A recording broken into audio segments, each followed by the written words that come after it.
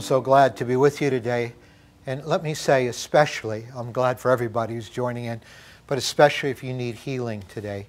Because as we're going through the various names of God, we're coming to a name of God that I pray will be very powerful in your life today. It's Jehovah Jireh, the God who heals. We find this name of God in an Old Testament story in Exodus 15. Israel's been delivered from their Egyptian captivity and slavery, and now, now they're heading out into the wilderness. And Moses led Israel, verse 22 of Exodus 15 says, Moses led Israel from the Red Sea, and they went into the wilderness of Shur. And for three days they traveled in the wilderness, in the desert, without finding water. Now, this is a crowd of hundreds of thousands of people. And three days in the wilderness, no water. And when they came to Marah, they could not drink its water because it was bitter.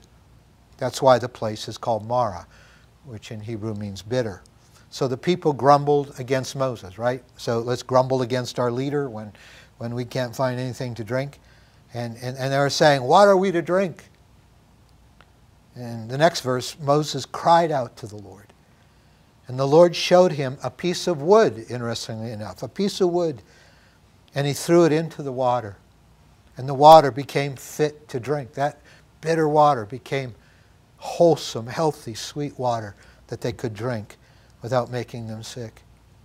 In verse 26, then God said, If you'll listen carefully to the Lord your God and do what is right in your eyes, in his eyes, and if you pay attention to his commands and keep all his decrees, I will not bring on you any of the diseases I brought on the Egyptians, for I am the Lord who heals you. For I am Jehovah Jireh, the Lord who heals you. And it would, of course, be Jesus that would embody this. Peter says in 1 Peter chapter 2, 24, he himself bore our sins on his body on the cross. I mean, of all kinds of sickness, the sickness of our souls and our separation from God is what we need healing for more than anything else. And so he bore our sins in his body on the cross so that we might die to sins and live for righteousness. And then he quotes out of Isaiah 53 And by his wounds you have been healed. And this healing is healing for the body, for the soul, and for the mind. Healing at every level in our lives because we serve Jehovah Jireh, the Lord that heals. And just as Moses threw a piece of wood into bitter waters, God planted a wooden cross at the heart of the bitterness and pain of our lives and he healed those waters. And he declared himself to be Jehovah Jireh when he died on the cross so that by his wounds we might be healed. So, Lord, as we are in your presence today, what more is there to say except you are our healer?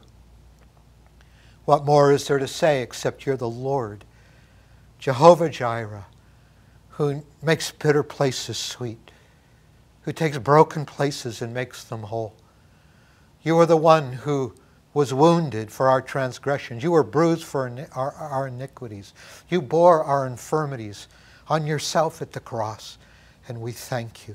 We thank you as a result. You are our great physician. And for every need for healing today, I pray in Jesus' name, you will be Jehovah Jireh. I pray for physical healing against cancer and, and stroke and heart disease and diabetes and kidney problems. And my God, wherever there may be a need for healing, let your healing come now. I pray you'll heal broken relationships. I pray you'll heal our hearts where they've been broken by other people. I pray, oh God, in the bitter places of difficult things we're walking through, you will come and you will place your cross in the midst of that, those bitter waters and make them sweet, we pray. We thank you for your healing, body, mind, and soul, and we praise you in Jesus' name. Amen.